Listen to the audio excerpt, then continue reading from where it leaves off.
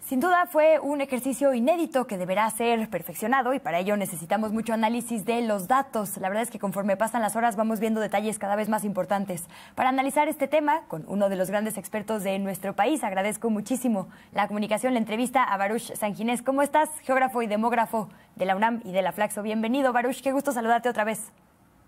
Hola Luisa, pues muy bien, eh, aquí ya listo para poder hablar de estos datos que justo apenas hace unos minutos estamos ya a punto de alcanzar el 100% de actas computadas por el INE. Hay como varias bases de datos con las que me imagino te estás divirtiendo un montón, si es que divertir es la palabra correcta. La primera, Baruch, y te vi publicando al respecto, es la de cómo se colocaron las casillas. Un tercio por cuestiones de recursos, pero ¿cómo fue? Es decir, eh, en mi distrito, por ejemplo, yo normalmente voto en un lugar, en la intermedia voté en otro y ahora me mandaron a otro. Tú mapeaste todo esto. ¿Cuáles son las primeras conclusiones o las hipótesis que tienes al respecto?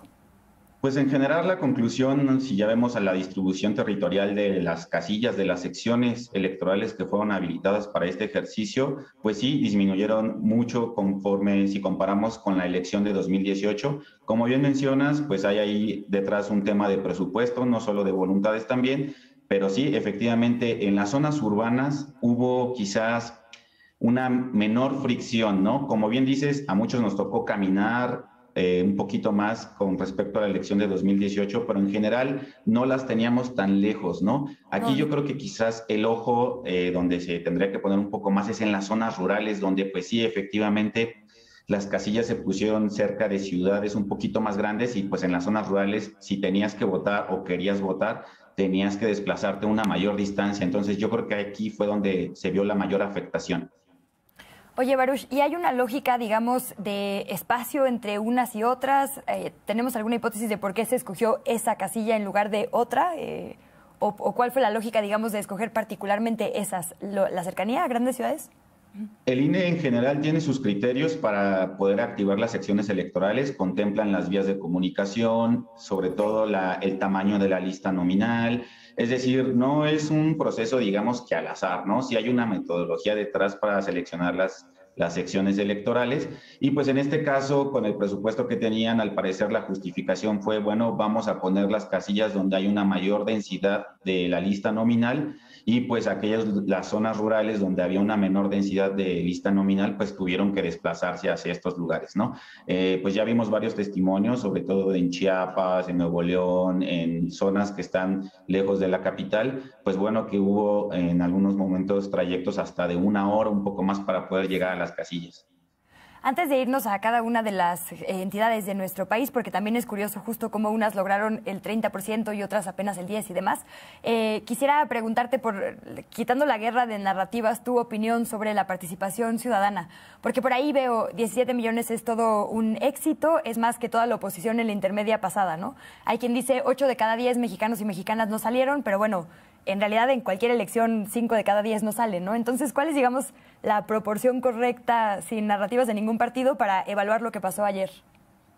Pues si tratamos de ser imparciales lo más que se pueda, lejos de estas narrativas que mencionas, sí, lo, pues en, en, México tenemos una lista nominal de 92 millones de personas que pueden votar, ¿no? Pero en ninguna elección ha votado el 100% de la lista nominal. Nuestro mayor porcentaje de participación ha llegado al 50%. ¿Qué quiere decir? Que de estas 92 millones de personas solo votan la mitad de manera general, así sea para la elección presidencial o las intermedias, ¿no? Tomando este número como el techo, que estamos hablando de cerca de pues 45 millones más o menos de personas que pueden votar, 18 millones de personas, pues eh, dependiendo la narrativa que, que quieran elegir, pues puede ser mucho o poco, pero yo creo que en números abstractos de manera imparcial me parece una buena participación al ser un ejercicio pues inédito en el que no se tenía que elegir a ningún candidato, ¿no? sino más bien una participación ciudadana. Quizás si vamos repitiendo estos ejercicios en los siguientes sexenios, podemos ver un avance y podemos comparar ya con esta elección en específico. Está bastante diferenciado eh, la participación, digo también el voto, pero en norte y sur del país, ¿no? El centro con una tendencia mucho más similar a la del sur-sureste. Se participó muchísimo en Yucatán, en Chiapas, en ¿no? los estados, digamos, más hacia el sur y poco en el norte. Pero curiosamente no son necesariamente estados gobernados por Morena. Está el caso de Yucatán, que creo que tiene más de 30% de participación, ¿no? El, casi el doble de la media.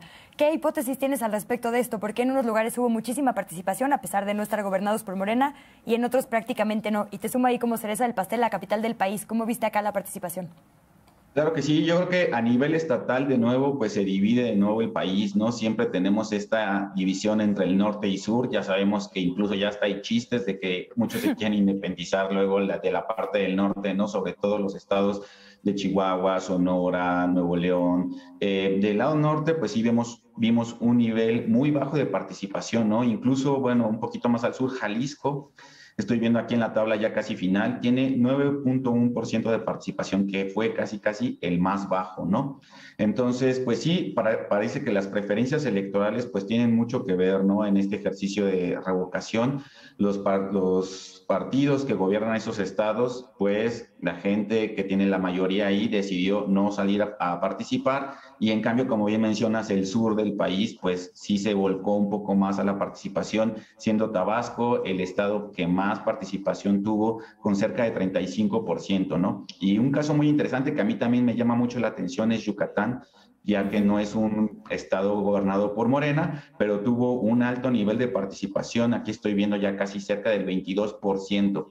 Sobre todo me llama mucho, mucho la atención la península de Yucatán porque al fin y al cabo es uno de, las, de los territorios que en este momento tiene una de las obras más importantes por parte del gobierno. Entonces, pues bueno, a lo mejor empezar a analizar que si hay una mayor participación, a lo mejor también tiene que ver con una respuesta hacia lo que es una obra de gran magnitud en la zona, ¿no? Habría que evaluar, no se puede correlacionar tan fácil, pero es uno de los primeros indicios. Y en la Ciudad de México, pues bueno, si ya vemos con lupa hacia adentro de las delegaciones, pues también hay una división clara entre lo que es el oriente de la ciudad y el poniente, siendo las alcaldías de Iztapalapa, Milpalta, Xochimilco, Iztacalco, donde hubo una mayor participación.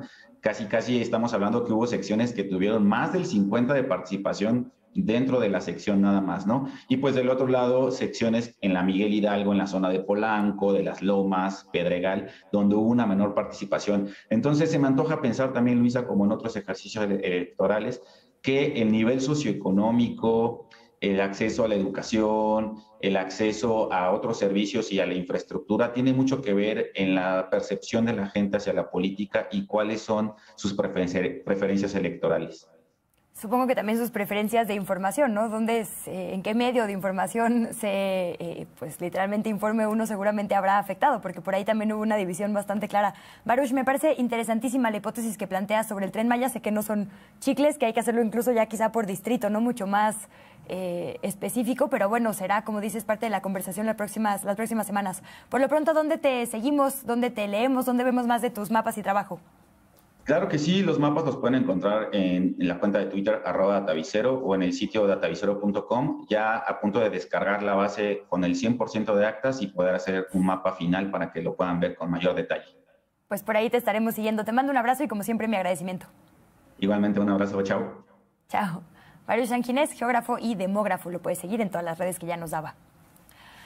Vamos con esto a nuestra primera pausa. Pero